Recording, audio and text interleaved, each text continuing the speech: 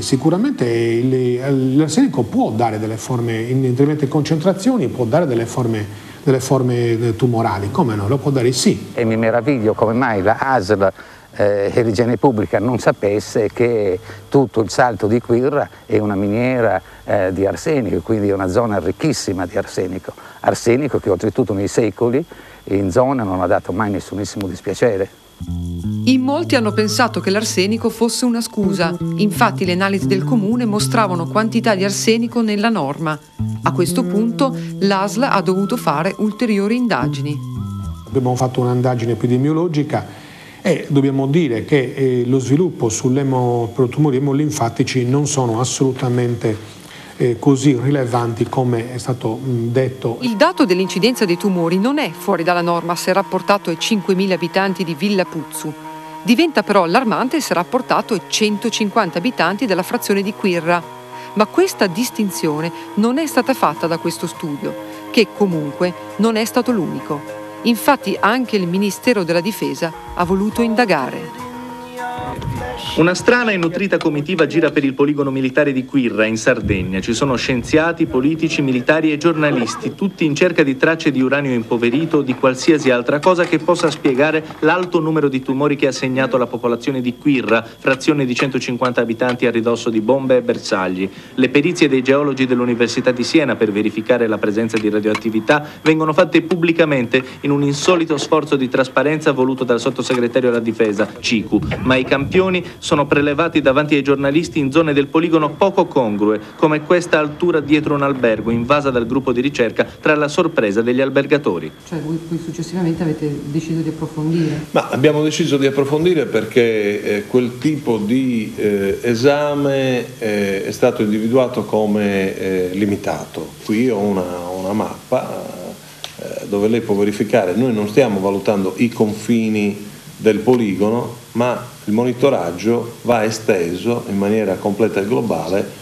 a tutti i paesi viciniori, a tutti i comuni viciniori, per capire poi se eventualmente eh, dal poligono si esce fuori e sino a dove arriva. Però eh, questa è la situazione. Tutti gli approfondimenti sono in corso. Quindi io non, non escludo nulla, peraltro, non voglio escludere nulla, perché anch'io sono in attesa di avere un minimo di riscontro e anche di, di comprensione e di certezza rispetto a questo percorso. Un altro sospetto molto grosso è, sulla, è sui sistemi radar e, e sul sistema missile antimissile OC. Hai fatto delle indagini specifiche sull'inquinamento elettromagnetico? No. Però andrebbe fatta perché il salto di Quirra è costellato dai radar che consentono alla base operativa del poligono di seguire e intervenire sui lanci e sui radiobersagli. Sono strumenti potenti e molto sofisticati ed è impossibile paragonarli alle normali antenne e paraboliche. Mi risulta che anche diversi militari sono andati incontro a questo tipo, a questo tipo di tumore. Allora, mio figlio si è ammalato di leucemia un anno e mezzo dopo aver finito il servizio militare a Quirra.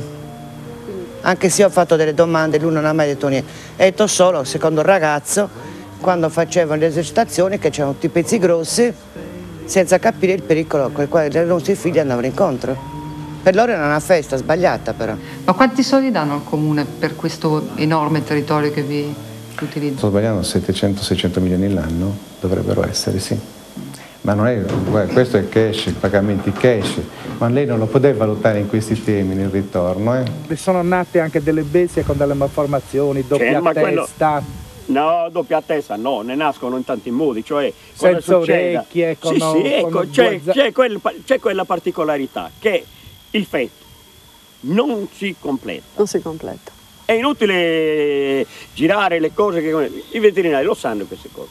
Dal versante interno del poligono si vede il paese di Escalaplano. Si dice che qui ci siano troppi bambini nati malformati. All'inizio credevo che fosse mia la colpa. Poi, come hanno detto i professori, da parte mia e da parte di mio marito, non c'è nessuna colpa. Cosa vi hanno detto i professori? Prima di tutto mi hanno rassicurato che, che non era er- ereditario. Poi che sarebbe vissuta pochissimo.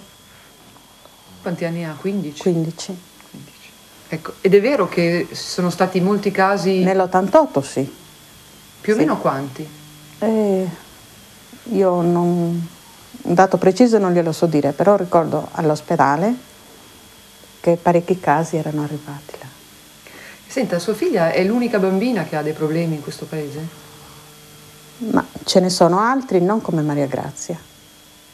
Maria Grazia è proprio, diciamo che è il limite. Di più non, non ce ne potrebbe essere. Sono il genitore di una bambina che è nata con una malformazione alla mano, eh, in pratica gli mancano mh, tutte le dita della, della mano destra, ha solo dei piccoli accenni ecco, dei- delle dita. La bambina ora deve compiere 10 anni, all'inizio noi l'abbiamo presa come mh, fosse un caso così, un caso qual- qualsiasi, l'abbiamo presa in quel modo. Quando poi siamo venuti a sapere che nello stesso periodo eh, ne sono al- eh, nati altri, altri bambini, tutti... E allora la cosa ha cominciato a... Quando avete saputo che c'erano altri bambini? Cioè lo vedete, lo constatate perché siete nello stesso paese? Mm, Sì, l'abbiamo constatato in seguito che ne sono nati altri con malformazioni diverse. Sono parecchie. Mi, mi dà un'idea? Eh, Saranno un, eh, una decina, una decina diciamo, Su quanti abitanti? Su un 2800 abitanti. C'è silenzio, silenzio dappertutto, principalmente qui anche al comune. Però se possono fare qualche cosa, anche per sapere da che cosa può essere, può anche darsi che sia anche colpa mia e i professori non l'hanno scoperto. Però Maria Grazia non si può né difendere, non può parlare e mi piacerebbe scoprire proprio. Scoprire cos'è successo nell'88 a Scalaplano, quando è nata Maria Grazia e gli altri bambini malformati, e cos'è successo nel 94, quando è nata la figlia del signor Artizzu e gli altri bambini con gli stessi problemi. Non sono state fatte indagini scientifiche per ora e comunque è difficile trovare una causa ambientale in questi luoghi senza industrie e senza un'agricoltura intensiva che fa largo uso di pesticidi. Per questa ragione c'è chi guarda con sospetto alle attività del poligono. Lei mi, mi conferma che non è stato mai sparato? Ma io le confermo che eh, dalle certificazioni, dai referti esistenti che risalgono eh, diciamo, mh, ad un arco temporale di circa 15-20 anni, si rileva che non è mai stato fatto uso di munizionamento con uranio impoverito. Ho chiesto al Ministero della Difesa di avere i registri delle esercitazioni, non mi è stata data risposta.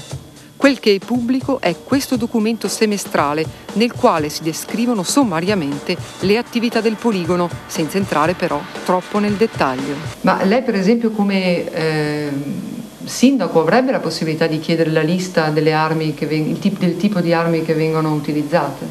Io credo no, credo di no, ecco. Ma questo sinceramente non le so rispondere. Premesso che l'Italia non ha armi, non ha, proie- non ha munizionamento all'uranio impoverito, questo munizionamento all'uranio impoverito è il munizionamento standard di Stati Uniti, eh, Francia eh, e Gran Bretagna. Sono paesi che vengono a fare le loro esercitazioni nei, nei poligoni sardi.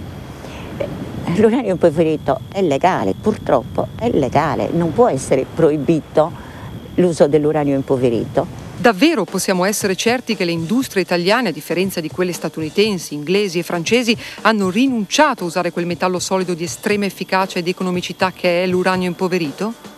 Nel 2001 un addetto alle munizioni di un deposito di armi militari, impaurito dalla vicenda dell'uranio, scrivendo al suo superiore lamentava che alla fine della missione di pace in Somalia nel 94 lui aveva manipolato senza alcuna protezione munizioni all'uranio impoverito rientrato da quella missione, specificando sigle e calibri.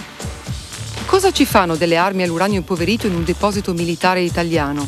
E soprattutto, i nostri militari, in quali poligoni hanno imparato ad usarle?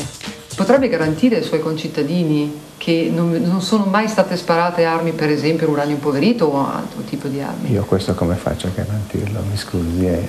Io sono sindaco da, da poco tempo.